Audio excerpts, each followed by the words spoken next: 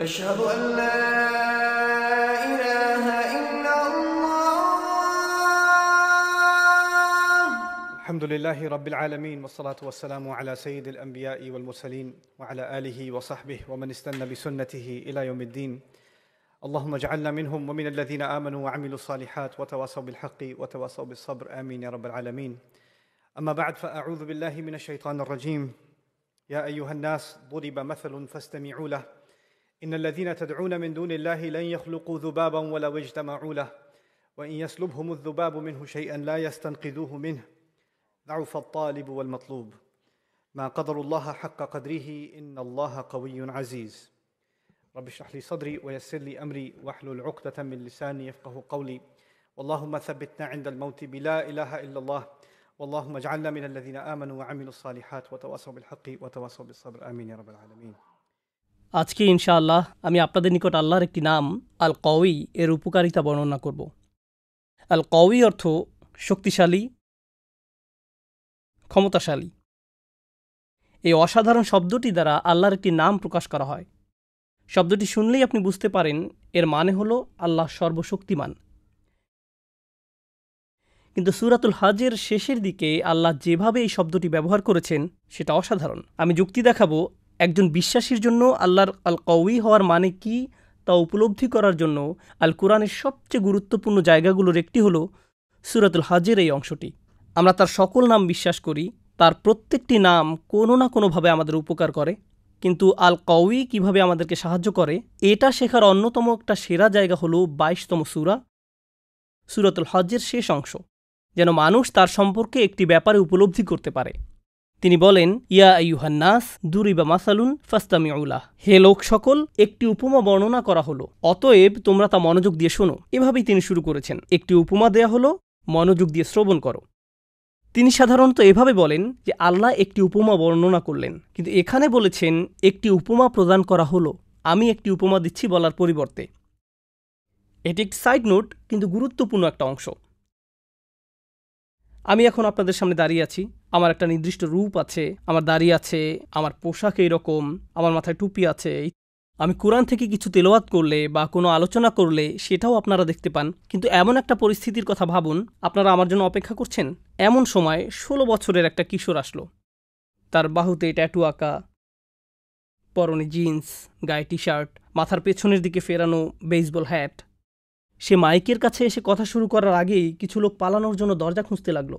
কিছু মানুষ ভাবতে লাগল, নামাজ বোধহয় আবার পড়তে হবে। কেউ কেউ ভাবতে লাগল, তাকে মঞ্চ থেকে সরানোর জন্য কি কেউ নেই? কেন সরানো হচ্ছে না? এর মধ্যে সে বক্তব্য দেওয়া শুরু করল। আর সে আপনার জীবনে শোনা সবচেয়ে সেরা বক্তব্য রাখল। সে বিভিন্ন জায়গা থেকে উদ্ধৃতি দিল এবং এমন অসাধারণ আলোচনা করল যে জীবনে কখনো এমন শক্তিশালী কথা আপনি শুনেননি। আপনারা যারা তাকে দেখতে পাচ্ছেন, তাদের পক্ষে তার কথা থেকে উপকার পাওয়া কঠিন হয়ে যাচ্ছে। কিন্তু যারা মসজিদের বাহিরে বসে আছে, তারা তো তাকে দেখতে পাচ্ছে না। বাহিরের মানুষ শুধু তার কথা শুনছে। তো ভেতরের মানুষরা বলতে লাগলেন আস্তাক ফিরুল্লাহ আস্তাক ফিরুল্লাহ আর যারা বাহিরে, তারা কি বলছেন? মাশা আল্লাহ মাশা আল্লাহ এই উদাহরণটি পেশ করার কারণ হচ্ছে, মানুষ কারও কথা শোনার আগে তার চেহারা বা সুরতের দিকে লক্ষ্য করে। আমরা কারও বক্তব্যের চেয়েও তার পোশাক পরিচ্ছদ, তার চেহারা সুরতের দিকে বেশি মনোযোগ দিয়ে থাকি। এবং সেজন্য কারও পোশাকের দিকে তাকিয়েই বলি, সে যাই বলুক না কেন, তার কথা শোনার কোনো মানে হয় না। আবার আরেকজনের ক্ষেত্রে হয়তো বলি, তার কথা বেশি মনোযোগ দিয়ে শ্রবণ করা উচিত। শুধু তাদের চেহারা সুরতের ভিন্নতার কারণে। কখনো কখনো হয়তো তাদের গায়ের রঙের কারণে, তাদের পোশাক আশাক বা বয়সের কারণেও হতে পারে। কোনো ব্যক্তি তার মুখ খোলার আগেই তার পোশাক আশাক অথবা চেহারা সুরতের দিকে তাকিয়ে আমরা মনে মনে একটা সিদ্ধান্ত নিয়ে ফেলি। লোকটার কথা শুনব নাকি শুনব না? এই আয়তে আল্লাহ বক্তার উপর থেকে ফোকাস সরিয়ে ফেলেছেন। তিনি বলেছেন, একটি উপমা প্রদান করা হলো। আল্লাহ এই উপমাটি দিচ্ছেন অথবা রসুল্লাহ সাল্লাহ সাল্লাম দিচ্ছেন, এই ব্যাপারটা আপাতত একদিকে সরিয়ে রাখুন। উপমাটি কে দিচ্ছে, তার দিকে মনোযোগ না দিয়ে উপমাটির দিকে মনোযোগ দাও। কারণ এই পৃথিবীতে এমন বহু মানুষ রয়েছে, তারা যখনই শুনে আল্লাহ বলছেন, তখনই বিরক্ত হয়ে মনে মনে বলে ওঠে, আবার ধর্ম নিয়ে লেকচার দিতে আসছে। যখনই শুনে রসুল্লাহ সাল্লাহ সাল্লাম বলছেন, তখনই বিরক্তিস্বরে বলে ওঠে, আবারও ধর্মীয় ব্যাপার? যখনই শুনে আল্লাহ বলছেন, অথবা রসুল সাল্লাহ সাল্লাম বলেছেন, তখনই তারা কথাটা শোনার আগ্রহ হারিয়ে ফেলে। তারা শুনতে চায় না। তাই আল্লাহ আজ্জাল্লাহ এই অসাধারণ উপমা প্রদান করার সময় কি করলেন? ইয়া ইউহান্নাস এই উপমাটি সমস্ত মানবজাতির জন্য। এখন মানবজাতির সবাই তো আল্লাহর কথা শুনতে আগ্রহী নয়। তাই আল্লাহ বলছেন, যদিও তোমরা তার কথা শুনতে আগ্রহী নও দরিবা মাসাল ফাস্তামিউলাহু উপমাটা অন্তত মনোযোগ দিয়ে শোনো। এখন তিনি নিজের সম্পর্কে একটি বর্ণনা দিচ্ছেন। তিনি বলেন ইন্নাল্লাদিনা তাদউনা মিন দুনিল্লাহি লা ইয়াখলুকু যুবাবান। তোমরা আল্লাহর পরিবর্তে যাদেরকে ডাকো তারা কখনো একটি মাছিও সৃষ্টি করতে পারবে না। অলাবেচিতা মাউলাহু এবং এ উদ্দেশ্যে তারা সবাই একত্রিত হলেও। এই কথা শোনার পর আপনি হয়তো ভাবতে পারেন, তারা মাছি সৃষ্টি করতে পারবে না। মানে কি? এই কথা বলার উদ্দেশ্য কি? আর মাছি তো খুব চমৎকার কোনো প্রজাতিও নয়। বরং মাছি হলো মানুষের অভিজ্ঞতায় অন্যতম বিরক্তিকর একটা জীব। তাদের দেখলেই আপনি তাড়িয়ে দিতে চান। সাধারণত নোংরা, দুর্গন্ধময় জায়গায় তাদের দেখা যায়। আর ভালো খাবারের উপর যদি মাছি বসে, আমরা মনে করি তারা খাবার নষ্ট করে ফেলেছে। তাই আমরা তাদের তাড়িয়ে দেই। আল্লাহ বলছেন, তারা কখনো একটি মাছিও সৃষ্টি করতে পারবে না। ও এই নিয়াস্তুবহুমুজুবা বাসাইয়া লায়াস্তান কিদুহু মিনহু। আর যদি মাছি তাদের কাছ থেকে কিছু ছিনিয়ে নেয় ছিনিয়ে নেয়, তারা তার থেকে সেটা উদ্ধারও করতে পারে না। মনে করুন আপনি কোনো খাবার খাচ্ছেন। এমন সময় একটা মাছি এসে আপনার খাবারের উপর এক সেকেন্ডের জন্য বসল। আপনি তখন হাত নেড়ে মাছিটিকে তাড়িয়ে দিলেন। আল্লাহ বলছেন, যদি কোনো মাছি এসে তাদের খাদ্যের উপর বসে এবং তাদের কাছ থেকে খাদ্যের কিছু অংশ ছিনিয়ে নিয়ে যায়, গোটা মানবজাতি একত্রিত হলেও তার থেকে তা উদ্ধার করতে পারবে না। এ কথাই তিনি বলছেন লায়াস্তান কিদু মিনহু, তারা এটা পুনরুদ্ধার করতে পারবে না। এখন মানুষের ক্ষেত্রে কিছু মানুষ শক্তিশালী, এখন মানুষের ক্ষেত্রে কিছু মানুষ শক্তিশালী আর কিছু মানুষ দুর্বল, কিছু মানুষ গরিব, আবার কিছু মানুষ ধনী। অনেক মানুষের কোনো প্রভাব প্রতিপত্তি নেই, তাদের হয়তো থাকার একটা ঘরও নেই, আবার এমনও অনেক মানুষ আছে যারা পরমাণু বোমা নিক্ষেপ করার ক্ষমতা রাখে। যারা পৃথিবীর সবচেয়ে শক্তিশালী সেনাবাহিনী নিয়ন্ত্রণ করে। ইতিহাসে এবং আজকের দিনেও এখন ফেরাউনের মতো রাজা যদি নিজ প্রাসাদে বার্গার খেতে বসে, আর এমন সময় একটা মাছি এসে তার খাবারের উপর বসে, তাকে অসম্মান করে। ভাবতে পারেন, রাজা খেতে বসল, আর কেউ একজন এসে বলল, এই খাবারটা আমার খুব পছন্দের, আমি এই ক্যাচাপটা খাব। লোকটা মারা পড়বে। এখন মাছি এসে যদি তার খাবার খাওয়া শুরু করে, আর ফেরাউন রাগান্বিত হয়ে বলে, কত বড় সাহস, আমি আমার খাবারের থেকে ফেরত চাই। এমনকি যদি তারা মাছিটি ধরেও ফেলে, কি করতে পারবে? খাদ্য পুনরুদ্ধার করতে পারবে না? এই অসাধারণ উপমাটির মাধ্যমে আল্লাহ সুবহানাহ তালা আগেরকার দিনে যারা মূর্তি পূজা করত, তাদের নিকট একটা ব্যাপার পরিষ্কারভাবে তুলে ধরলেন। এমন মূর্তি পূজকদের অনেকেই তাদের মূর্তির সামনে খাবার পেশ করত। তারা দুধ, মধু, চকলেট, আইসক্রিম আমি, জানি না, যাই আনুক না কেন, মূর্তির সামনে এই খাবারগুলো পেশ করত। আর এই মন্দিরগুলো সাধারণত উন্মুক্ত থাকে। এখন মূর্তির সামনে যদি এমনভাবে খাবারগুলো উন্মুক্ত থাকে, কে আসবে এগুলো খেতে? মাছি আসবে। একটা মাছি গিয়ে তাদের বিশাল মূর্তির নাকের ডগায় গিয়ে বসে। এই যে, তোমার খাবার এখন আমি খাব। মাইন্ড করব না তো। তারপর একটি খাবারের উপর বসে এক টুকরা খাবার নিয়ে উড়ে চলে যায়। আর তাদের দেবতার কোনো ক্ষমতাই নেই এই খাবার প্রতিরক্ষা করার। এখন তাদের এই পবিত্র খাবার, যাতে তারা বিভিন্ন তন্ত্রমন্ত্র পরে ফু দেয়, প্রার্থনা করে, ইত্যাদি। এখন আপনি সেখানে গিয়ে যদি বলেন আরে, এটা তো আমার সবচেয়ে প্রিয় চকলেট। তারপর একটা নিয়ে নিলেন। তখন তারা কি করবে? আপনার হাত থেকে কেড়ে নিবে আর খেয়ে ফেললে হয়তো আপনাকে মারতে আসবে। কারণ তাদের মতে আপনি এটাকে অপবিত্র করে ফেলেছেন। অথচ তাদের ধর্ম প্রতি মুহূর্তে অপমানিত হচ্ছে কার দ্বারা? আল্লাহ বলছেন, এই মাছি তোমাদেরকে শেখাচ্ছে, এই দেবতাগুলো শক্তিহীন। মাছি তোমাদেরকে এটি শিক্ষা দিচ্ছে। তো আল্লাহ বলছেন, আমি তোমাদেরকে ছোট একটি উদাহরণ দিচ্ছি। আল্লাহ ছাড়া তোমরা যাদেরকে ডাকো, প্রথমত তারা এমনকি একটি মাছিও সৃষ্টি করতে পারবে না। আর যদি মাছি তাদের খাবারের কিছু অংশ কেড়ে নিয়ে যায়, কীভাবে তারা এই খাবার উদ্ধার করবে? মজার ব্যাপার হলো, আমি এই আয়াতটার কারণে মাছি সম্পর্কে আগ্রহী হয়ে উঠেছিলাম। কীভাবে মাছি খাবার খায়? আমি সেটা জানতাম না। কোনো মাছি যখন খাবারের উপর বসে, সে তখন মুখ থেকে লালা ছাড়ে। তারপর সেই লালা দিয়ে একটা ব্যাগ তৈরি করে। খাবার এই ব্যাগের ভিতরে যায়, তারপর সেই ব্যাগ নিয়ে পালিয়ে যায়। আর এই ব্যাগটা হলো অ্যাসিডের তৈরি। খাবার ব্যাগের মধ্যে প্রবেশ করার সাথে সাথে কেমিক্যাল রিয়াকশন শুরু হয় এবং খাবারটি চিরকালের জন্য পরিবর্তিত হয়ে যায়। তাই কথার কথা, যদি আপনি আয়াতটিকে ভুল প্রমাণ করার জন্য কোনো টেকনোলজি আবিষ্কার করেন, কোনোভাবে মাছিটাকে ধরে ফেললেন, তারপর পেট্রি ডিশের উপর রেখে এই খাবার উদ্ধারের দায়িত্ব দিলেন বিজ্ঞানীদেরকে, কোনো লাভ হবে না। কারণ মাছিটি খাবার স্পর্শ করার সাথে সাথে এটা হারিয়ে গেছে। লা ইস্তান কিদুহু মিনহু। তারা এটা পুনরুদ্ধার করতে পারবে না। এখন আসছে আয়াতের শিক্ষা। আল্লাহ সর্বশক্তিমান এই ব্যাপারটি নিয়ে আজকে আমি আপনাদের সাথে আলোচনা করতে চেয়েছি। এই উপমার সাথে আল্লাহ সর্বশক্তিমান হওয়ার কি সম্পর্ক আছে? আল্লাহ এখানে একটা মূলনীতি সেট করে দিচ্ছেন। আপনি যদি এই মূলনীতিটি বুঝতে পারেন, তাহলে আল্লাহর এই নামটির তারিফ করতে পারবেন। উপমাটি দেওয়ার পর আল্লাহ আজ্লাহ বলেন দউফাত তলিবল মতলুব। এটি আল কোরআনের একটা অন্যতম শক্তিশালী স্টেটমেন্ট আমরা জানি পৃথিবীর প্রায় সব ভাষাতেই জ্ঞানগর্ভ কিছু প্রবাদ আছে। এই আয়াত অংশটি কোরআন মাজিদের এরকম একটি গভীর তাৎপর্যপূর্ণ বক্তব্য।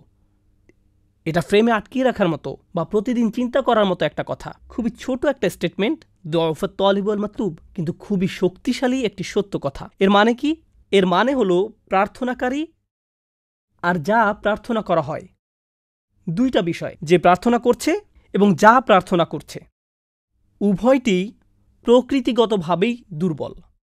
যে কিছু কামনা করছে সে যেমন দুর্বল, ঠিক তেমনি যা কিছু কামনা করা হচ্ছে সেটাও দুর্বল। কোনো যুবক হয়তো বিয়ে করতে চাচ্ছে, কেউ হয়তো চাকরি পাওয়ার আশায় আছে, কেউ হয়তো আরও বেশি টাকা উপার্জনের ধান্দায় আছে, কেউ হয়তো তার স্বাস্থ্য সমস্যা নিয়ে ঠিক করার চেষ্টায় আছে, কেউ হয়তো তার অর্থনৈতিক সমস্যা সমাধানের চেষ্টায় আছে, আবার কেউ হয়তো পারিবারিক সমস্যা মোকাবেলার চেষ্টায় আছে। প্রত্যেকেই কিছু না কিছু আকাঙ্ক্ষা করছে, কিছু না কিছুর অভাব বোধ করছে। মূলত আমরা দুটি জিনিসের পেছনে ছুটি।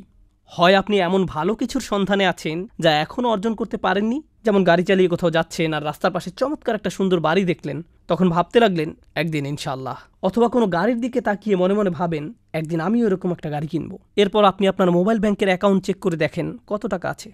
Not enough not enough not enough এভাবে জমতে থাকলে আর মাত্র বারো বছর পরে গাড়িটি কিনতে পারব। তাহলে প্রতিটি মানুষ এমন কিছুর পেছনে ছোটে যা এখনও সে অর্জন করতে পারেনি? এটা হলো এক ধরনের আকাঙ্ক্ষা। আর দ্বিতীয় ধরনের আকাঙ্ক্ষা হলো আমাদের জীবনে নানান রকম সমস্যা রয়েছে। আমরা হয়তো কোনো কঠিন গ্যারাকলে আটকা পড়েছি বা কোনো গভীর দুঃখ, পারিবারিক সমস্যা, মানসিক অশান্তিতে আছি এবং আমরা এর থেকে মুক্তি চাচ্ছি।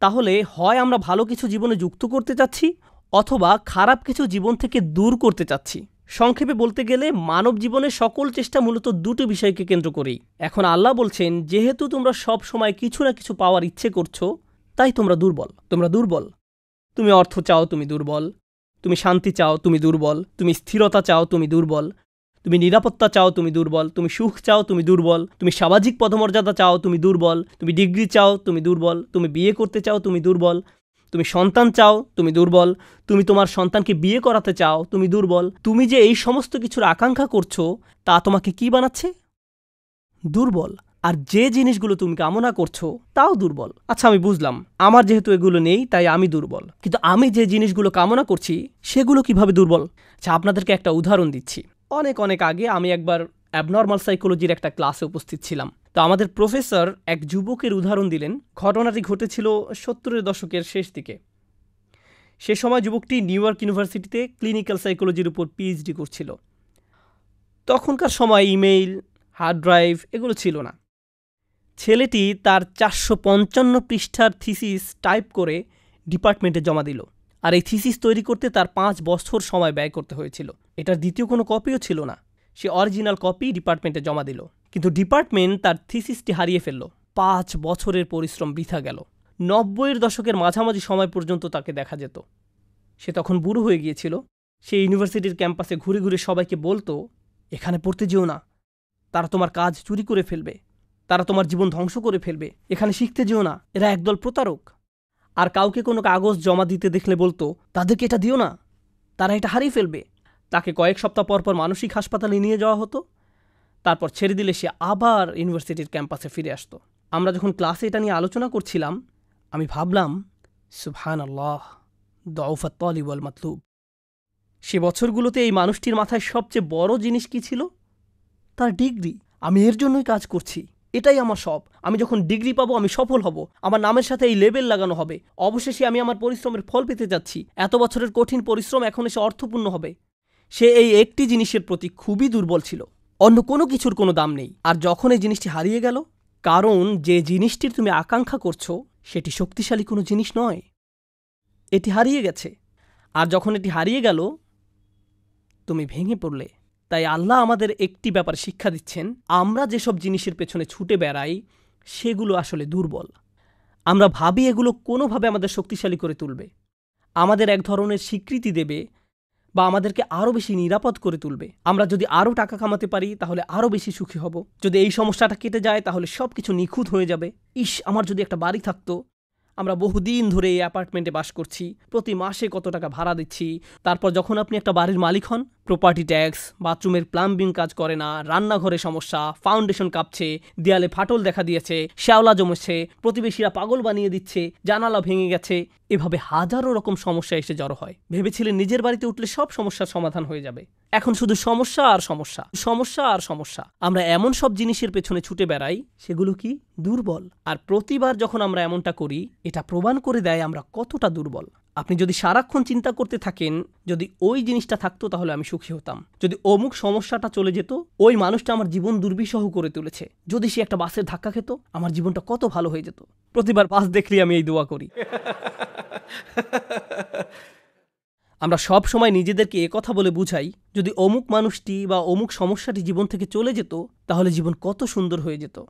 অথবা যদি অমুক দুঃখটি দূর হয়ে যেত, তাহলে সব কিছু পারফেক্ট হয়ে যেত। যদি মানুষের পরিবর্তন হতো, যদি পরিস্থিতির পরিবর্তন হতো, যদি পরিবেশের পরিবর্তন হতো, আমরা এভাবে ভাবতে থাকি সব কিছুর পরিবর্তন হলে জীবন সুন্দর হয়ে যেত। তাহলে আমাকে আর দুর্বল থাকতে হতো না।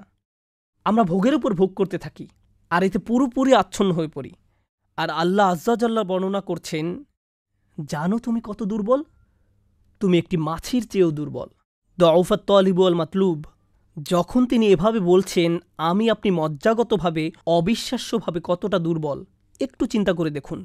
আপনাদের প্রত্যেকের মাথায় বিভিন্ন জিনিসের চিন্তা আছে, প্রতিদিন। আমরা এখন রোজা রাখছি, নামাজ পড়ছি, আর আলহামদুলিল্লাহ, নামাজ পড়ার সময় আমরা মনোযোগ ধরে রাখার চেষ্টা করি। কিন্তু এর বাইরে আপনার মাথায় কোন চিন্তা ঘুরঘুর করে? আপনি কী নিয়ে উদ্বিগ্ন থাকেন? আপনি কী নিয়ে চিন্তা করেন? কোন চিন্তাটি আপনার মাথায় সারাক্ষণ ঘুরতে থাকে? কোন জিনিসটির ব্যাপারে ভাবেন এটা যদি থাকতো? আর কোন জিনিসটির ব্যাপারে ভাবেন যদি এটা না থাকতো? কারোর জন্য অসুস্থতা, কারোর জন্য ডিপ্রেশন কারোর জন্য দুঃখ, কারোর জন্য হয়তো কোনো ব্যক্তি। কেউ কেউ ভাবেন যদি ওই মানুষটা আমার ব্যাপারে খুশি হতো, তারা অন্য একজনকে খুশি করার চিন্তায় মশগুল থাকেন। যদি আমার বাবা আমার উপর খুশি থাকতেন, তাহলে আমি সুখী হতাম। কিন্তু আপনার বাবাও তো একজন মানুষ। তিনি যদি আজ খুশি হয়েও থাকেন, কাল হয়তো তার জীবন শেষ হয়ে যেতে পারে। তারপর আপনি কি করবেন? এরপর আপনি কোথায় দাঁড়াবেন? সুতরাং আমি আর আপনি এভাবে এসব জিনিসের পেছনে ছুটতে থাকি। আর এর পরের আয়াতে আল্লাহ আজ্লাহ বলেন মা কদারুল্লাহ হাক্কা কদরিহি, তারা আল্লাহকে যথাযথ মর্যাদা দেয় না। ইন্নাল্লাহ কৌন আজিজ, নিশ্চয়ই আল্লাহ শক্তিধর, মহাপরাক্রমশালী। তুমি দুর্বল, কিন্তু আল্লাহ সর্বশক্তিমান। তিনি আরও বলেন, তোমরা আল্লাহকে যথাযথ মর্যাদা প্রদান করনি। জানেন, তিনি আমাকে আপনাকে কি বলছেন? তিনি বলছেন, তোমরা বিভিন্ন জিনিসের পেছনে ছুটবে, তোমরা বিভিন্ন মানুষের পেছনে ছুটবে তোমরা এই দুনিয়ার যত কিছুর পেছনেই ছুটো না কেন, এর প্রতিটি জিনিসের একদিন সমাপ্তি হবে। এর প্রতিটি জিনিস দুর্বল। এই কারণে তুমিও দুর্বল হয়ে পড়েছ। এই জন্য তুমি বারবার দুঃখ ভারাক্রান্ত হয়ে পড়ছ। ফলশ্রুতিতে তুমি বারবার ক্ষতির সম্মুখীন হচ্ছ। কিন্তু শেষবারের মতো, যখন তুমি এই সিদ্ধান্ত গ্রহণ করবে, তোমার যত চাওয়া পাওয়া আছে, তার মাঝে সবচেয়ে বড় চাওয়া পাওয়া হলো তোমার মালিককে খুশি করা। যখন তুমি সব কিছুর উপরে আল্লাহর সন্তুষ্টিকে প্রাধান্য দাও যখন তুমি সত্যিকার অর্থে তোমার অন্তর থেকে এটা করতে পারবে, একমাত্র তখনই যেহেতু তিনি শক্তিধর। জানেন, আল্লাহ এইমাত্র আমাদের শেখালেন, যখন তুমি দুর্বল কাউকে পেতে চাও, তখন তুমিও দুর্বল হয়ে পড়ো। কিন্তু তুমি যদি আল্লাহকে চাও, যিনি শক্তিধর এবং মহাপরাক্রমশালী, তাহলে এটা তোমাকে কেমন করে তুলবে? এটা তোমাকেও শক্তিশালী করে তুলবে। আর যখন তুমি শক্তিশালী হয়ে উঠবে, জীবনে বিভিন্ন জিনিস আসবে যাবে, কিন্তু তোমার শক্তিমত্তার কোনো কমতি হবে না। যে জিনিসের পেছনে তুমি ছুটছ তা ভেঙে পড়ার কারণে তখন তুমি আর ভেঙে পড়বে না। কারণ তুমি দুনিয়ার এসব তুচ্ছ জিনিসের চেয়েও অনেক অনেক উচ্চ একজনের সন্তুষ্টির অন্বেষণ করছ। আমি বলছি না যে আপনি এই দুনিয়ার কোনো কিছু চাইতে পারবেন না, কিন্তু আয়াতটি আমাদেরকে একটি ব্যাপারে শিক্ষা দিচ্ছে। আমরা যখন এসব পার্থিব বিষয় কামনা করব, আমরা বুঝব যে এগুলো দুর্বল। পার্থিব এসব বিষয় জীবনে আসবে, যাবে, কিন্তু আমরা কখনো আল্লাহকে হারাতে পারব না। লক্ষ্য করুন, মানবজাতির ব্যর্থতা হলো, যখন তারা পার্থিব কোনো জিনিস পেতে ব্যর্থ হয়, তারা আল্লাহকে ভুলে যায়। তাদের চাওয়া পাওয়ার জিনিসটি না পেলে তারা নামাজ পড়া ছেড়ে দেয়। তারা যা চায় তা যদি না পায়, তারা এভাবে বলে, এভাবে দোয়া করার অর্থ কী? তারা যখন তাদের আকাঙ্ক্ষার বস্তুটি পায় না, তখন দুঃখ, হতাশা একেবারে ভেঙে পড়ে এবং বলে, আমি তো আল্লাহর সাথে কথা বলার শক্তিও পাচ্ছি না। এমনটি ঘটার কারণ হলো, সমস্যায় পড়ার পূর্বে আল্লাহর সাথে তাদের বন্ধন শক্তিশালী হয়ে ওঠেনি। যদি সে বন্ধনটি আগে থেকেই বর্তমান থাকতো, যেমন মূল যদি শক্তভাবে গাঁথা থাকে, তাহলে ঝড় এলে এদিক ওদিক দুলতে থাকে, সম্পূর্ণ ভেঙে পড়ে না, মূলের উপর দাঁড়িয়ে থাকতো। আর ঝড় চলে গেলে আবার ফল দেয়া শুরু করতো। এরকম একটা উপমার কথা কোরআনে অন্যত্র এসেছে। আসলুহা সাবিত অফার উহা ফিসামা লা ইরাহা ইল্লাল্লাহ হলো এমন একটা বৃক্ষের মতো যার শেকড় মাটিতে এবং শাখা আকাশে উত্থিত। এটাই ইমানের শক্তি। এই আধ্যাত্মিক শক্তির ধারণাটি আরও পরিষ্কার করার জন্য আমি আপনাদের নিকট একটা উদাহরণ পেশ করব। শক্তিকে আমরা বিভিন্ন জিনিসের সাথে সংযুক্ত করি। আমি বহু বছর আগে একটা ঘটনা নিয়ে কথা বলছিলাম, কিন্তু এখন এটি আমাকে অনুপ্রাণিত করে। যুক্তরাষ্ট্রের নিউ অর্লিন্স অঙ্গরাজ্যের একটা পরিবারের একটা ঘটনা। পরিবারটা ছিল অনেক ধনী, তাদের গাড়ি ডিলারশিপের ব্যবসা ছিল, তাদের দোকান ছিল একেবারে সমুদ্র সৈকতের পাশে। তারা দামি দামি গাড়ি আমদানি করত এবং বিক্রি করত। এরপর হ্যারিকেন ক্যাটরিনা আঘাত হানল। ক্যাটরিনা এসেছিল বিশাল জলোচ্ছ্বাস নিয়ে এবং এর ফলে তাদের কেনা সকল গাড়ি ভেসে গেল। একমাত্র লেক্সাস, এলএস মডেলের একটা গাড়ি বর্তমান ছিল এবং পরিবারটা এই গাড়িতে করেই হ্যারিকেন আক্রান্ত এলাকা থেকে পালিয়েছিল। দুর্যোগ শেষ হওয়ার কয়েক মাস পরে স্টেটের সব কিছু খুলে দেওয়ার পর আমি আবার তাদের সাথে দেখা করতে গিয়েছিলাম। যে পরিবারটি মাসে প্রায় দুই কোটি টাকা আয় করত, তারাই এখন সেই লেক্সাস গাড়িতে করে পিজা ডেলিভারি দিচ্ছে। পরিবারটি এখন এই কাজ করছে। এক ব্যক্তির পিজা দোকানের জন্য তাদেরকে হায়ার করা হয়েছিল। মা বাবা দোকানে পিজা বানাতো আর ছেলে লেক্সাসে করে সেই পিজা ডেলিভারি দিত। আমি যখন এটা দেখলাম, কল্পনা করতে পারেন, অন্য কেউ যদি এরকম পরিস্থিতিতে পড়তো, অন্য কোনো মিলিয়নিয়ার যদি এভাবে দেউলিয়া হয়ে যেত, তাদের কি হতো? তারা সম্পূর্ণ হতাশ হয়ে যেত, মদের বোতল হাতে জীবন পার করে দিত। কারণ তারা মনে করত, যা তাদের ছিল, তাই তাদের শক্তিশালী করেছে। এখন যেহেতু এই সম্পদ হারিয়ে গেছে, আমার পক্ষে আর এই পরিস্থিতি মোকাবেলা করা সম্ভব নয়। এই ধরনের ক্ষতি সহ্য করা সম্ভব নয়। কিন্তু এই পরিবারের ক্ষেত্রে যখন আমি তাদের সাথে দেখা করলাম, সবাই খুবই শান্ত, নির্বিঘ্ন। বাবার অনেক বয়স হয়েছিল, এই রকম বয়সে এমন ক্ষতির সম্মুখীন হলে মানুষ হার্ট অ্যাটাক করে, উচ্চ রক্তচাপে ভোগে, কিন্তু এই মানুষটা সম্পূর্ণ শান্ত। তো আমি তাকে জিজ্ঞেস করলাম, কীভাবে? কীভাবে এটা সম্ভব? আমি এমনকি আমার প্রশ্ন করাও শেষ করতে পারিনি। আমি শুধু বললাম, কীভাবে? তিনি হেসে উঠলেন। তিনি বললেন, যখন ব্যবসা ভালো ছিল আমি সারাক্ষণ ফোনে ব্যস্ত থাকতাম। শিপমেন্ট এসে পৌঁছেছে কিনা? পেমেন্ট দিতে দেরি হচ্ছে কিনা? কার কি ডেলিভারি দেওয়া প্রয়োজন? কাস্টমার খুশি কিনা? ট্যাক্সের হিসাব ঠিক আছে কিনা? কর্মচারীদের সমস্যা, অমুক সমস্যা, তমুক সমস্যা, এসব কারণে আমি কোনো মতে জুমার নামাজে উপস্থিত হতে পারতাম, কোনো রকমে। কিন্তু এখনও তো টেবিলে খাবার আছে। এখনও তো আমাদের মাথার উপর ছাদ আছে। আর এখন আমি নিশ্চিন্তে মসজিদে গিয়ে নামাজ আদায় করতে পারি। আর সকালে ঘুম থেকে উঠে আমাকে কিচ্ছু নিয়ে ভাবতে হয় না। একমাত্র আমার রবকে মনে করা। এবং তার কৃতজ্ঞতা জ্ঞাপন করা ছাড়া। আমার আসলে মনে হয়, আমার জীবন শেষ হওয়ার পূর্বে আল্লাহ আমাকে সহজ জীবনের এই নিয়ামত দান করেছেন। সেই বাবা এটাই বলেছিলেন, কোনো সাধারণ মানুষের পক্ষে এভাবে কথা বলা সম্ভব নয়। আপনি যদি এমন কথা অন্য কোনো ব্যবসায়ীকে বলতেন, সে বলতো, এই লোকটার মাথা নষ্ট হয়ে গেছে, তার সকল সেন্স নষ্ট হয়ে গেছে। আর এই জন্যই এখন সে তার মাথায় এই পরিস্থিতির একটা যৌক্তিকতা খুঁজে নিয়েছে। আপনাদেরকে একটা কথা বলছি, একজন মানুষের পক্ষে কেবল তখনই এভাবে কথা বলা সম্ভব যখন সে বুঝতে পারে যেসব জিনিসের পিছনে সে ছুটছে, তা দুর্বল। কেবলমাত্র আল্লাহ, কেবলমাত্র আল্লাহই শক্তিশালী।